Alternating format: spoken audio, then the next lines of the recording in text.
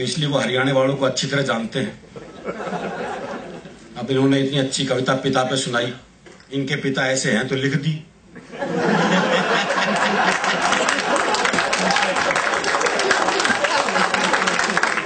हमें पता है ना कि हमारा बाप कैसा है।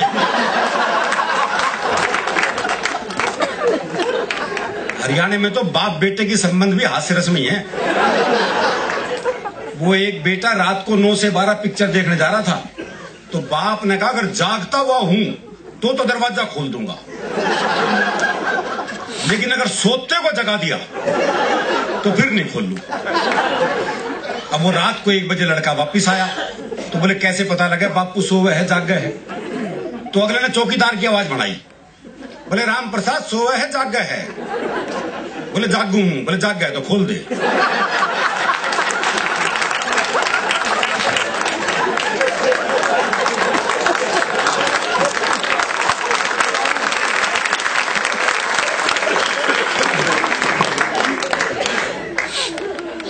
आलोक भाई ने बहुत बढ़िया बढ़िया गजलें पढ़ी। तरबूज के माध्यम से क्या चिंतन पर कविता सुनाई? विनय विश्वास जी ने बहुत चिंतन पर कविताएँ सुनाई।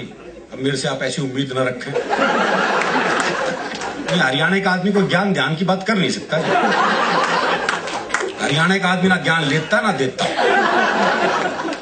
एक बार हमने कुरुक्षेत्र में भगवान कृष्ण जी से ज्ञान ले लिया था। उसके बाद से ज्ञान लेना बंद कर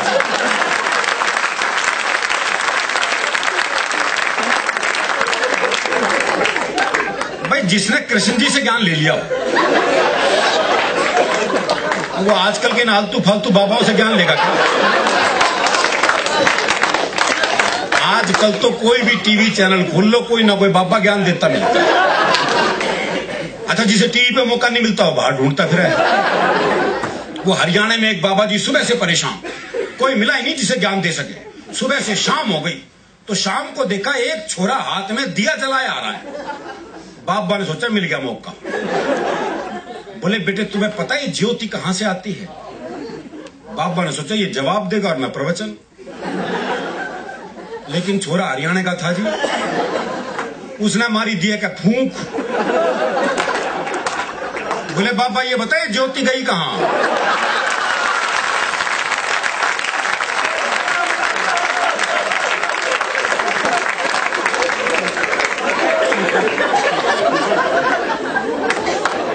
वो आजकल हर एक स्कूल में योग टीचर लग गए, वो दिल्ली में एक योग टीचर बच्चों को योग सिखा रहा था। बोले, बच्चों, सीधे लेट जाओ। बच्चे सीधे लेट गए। बोले, अपने पैरों से साइकिल चलाओ। वो सारे साइकिल चलाने लगे। एक पढ़ा रहा अपने, हरियाणा का मस्त। है बोले, तू साइकिल क्यों नहीं चला रहा? बोला, मेरी साइकिल ढलान पे है।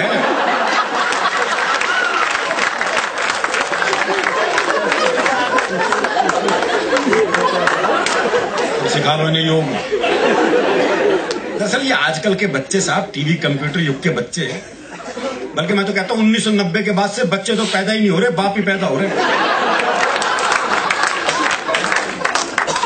इनसे बहस कर ही नहीं सकते वो क्लास में टीचर ने सवाल कर दिया, बोले, जिसे सुनाई नहीं देता, उसे क्या कहते हैं? तो एक बच्चा खड़ा होकर बोला, जिसे सुनाई नहीं देता, उसे तो कुछ भी कहो।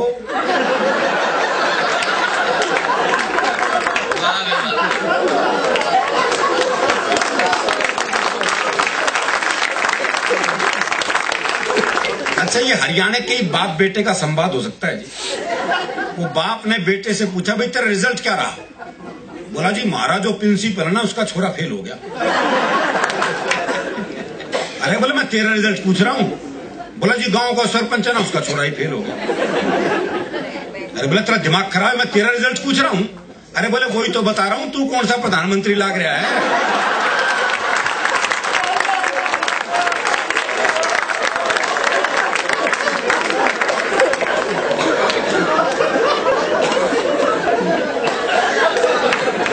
अच्छा हरियाणा में ये वृद्ध आश्रम की भी समस्या नहीं मिलेगी आपको। आप हरियाणा में काम कर रहे हो जी। हाँ ये वृद्ध आश्रम की समस्या नहीं है। हरियाणा में अगर बूढ़े को पता लग जाए कि बेटा मुझे वृद्ध आश्रम में छोड़ के आने वाला है तो बाप खुद बेटे को अनाथालय क्या बोले, जमा कर लो, इसने मेरा ना आयो। हमारी संस्कृति थोड़ी सी अलग है। दरअसल क्या हरियाणा का आदमी फुर्सत में रहता है, इसलिए हास्य रस में रहता है। हास्य के लिए थोड़ी फुर्सत की ज़रूरत है। वो एक ने एक रिक्शे वाले को आवाज़ दी, बोले, खाली है? बोले हाँ. बोले, आप फिर ताश खेलते हैं।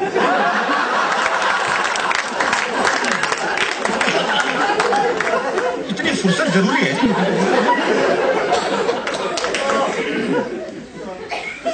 और जहाँ तक प्रेम की बात है तो हरियाणा में तो हम तो प्रेम भी लिख नहीं सकते।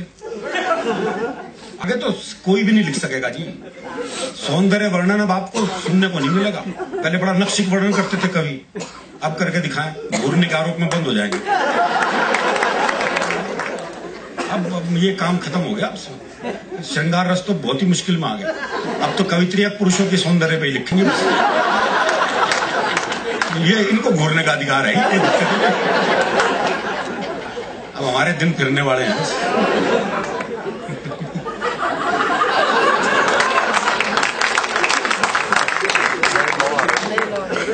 अच्छा हरियाणा में तो प्यार भी जो है वो ब्याह के बाद ही होता है। ब्याह से पहले प्यार कर ले तो हम तो पेड़ पे लटके मिलते हैं।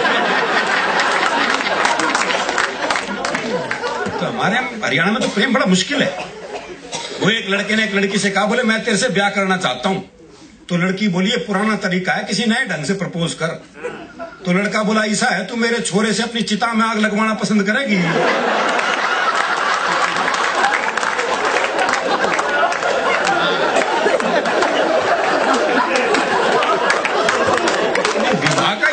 प्रस्ताव हरियाणा में संभव है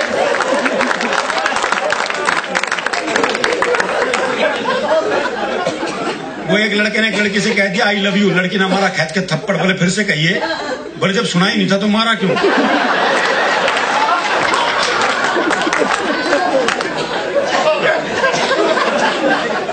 हमारा प्रेम बिल्कुल अलग है जी।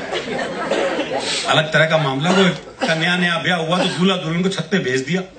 वहाँ उसने देखा लुगाई बड़ी सुथरी। बोले, लड्डू खावेगी? देखो, ये प्रैक्टिकल बात। अगला जो ला सकता वही पूछ रहा है। मैं उसे पता है, ब्याह का घर है हाँ वर्दी नीचे जाके ले आऊँगा। लड्डू खावेगी, बर्फ़ी ला दू। इमरती खावेगी, जलेबी ला दू। भाई ने सुबह के चार बजा दिए इस चक्कर में। तो नीचे से बूढ़ा बोल पड़ा, बोला, इस कढ़ाई ने उतार दे, खेत पे जाने का टाइम हो गया।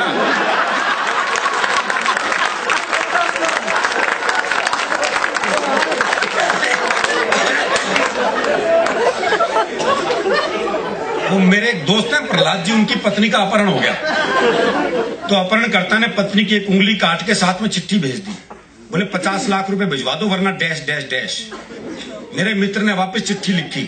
बोले, उंगली किसी की भी हो सकती है, मुंडी भेज, मुंडी।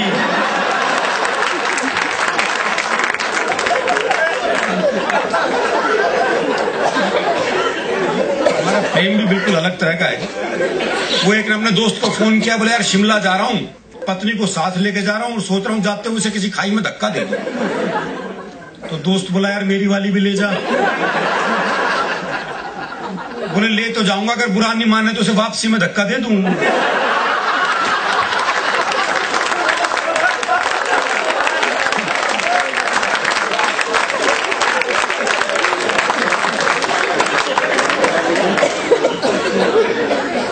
और ये प्रेम मनुष्यों का क्या पशु पक्षियों तक का हमारे यहाँ ऐसा है?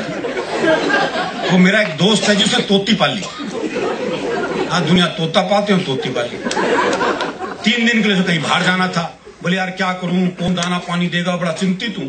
मैंने कहा, मेरे घर छोड़ जा। दो तोते हैं, उन्हें दाना पानी देता हूँ, इसे भी दे दूँगा। बोला, भाई, तेरे दो तोतों के बीच अपनी तोती छोड़ दू ना? मैंने कहा, नहीं यार, मेरे तोते बड़े धार्मिक हैं। तो खुद देख ले आके। अच्छा उसने देखा बकायदा गीता के श्लोक पढ़ रहा हूँ। एक कुरान की आयतें पढ़ रहा हूँ। बोले, बड़े धार्मिक है, कोई खतरा नहीं। उसने तोती छोड़ दी। जैसी तोती पिंजरे में गई तो एक तोते दूसरे को कोहनी मारी। अरे बोले पूजा पाठ बंद कर, दुआ कबूल हो गई।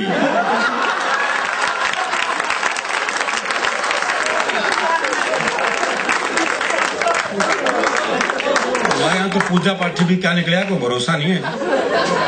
क्योंकि हम कितने धार्मिक है हमें पता है। जब हम मंदिर जाते हैं, जूते ऐसी जगह उतारते हैं जहाँ से भगवान भी दिखता है और जूते भी। बल्कि जूतों का दिखना ज़्यादा ज़रूरी है।